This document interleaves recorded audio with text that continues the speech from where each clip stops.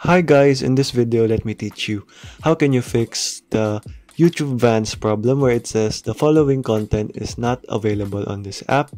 So all you have to do is a simple steps, couple of simple steps.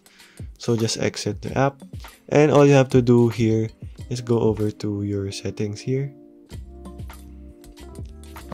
and go over to app manager search for your app manager in your app once you're here you just have to go over and select Vanced here and make sure to select force stop first first on the bottom.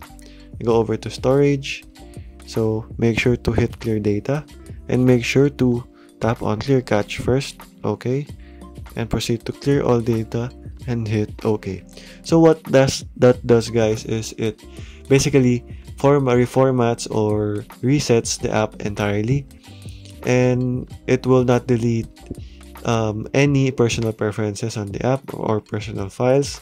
So don't worry guys. It will uh, be okay. So you just have to log into your account. Again because it logs you out once you do this.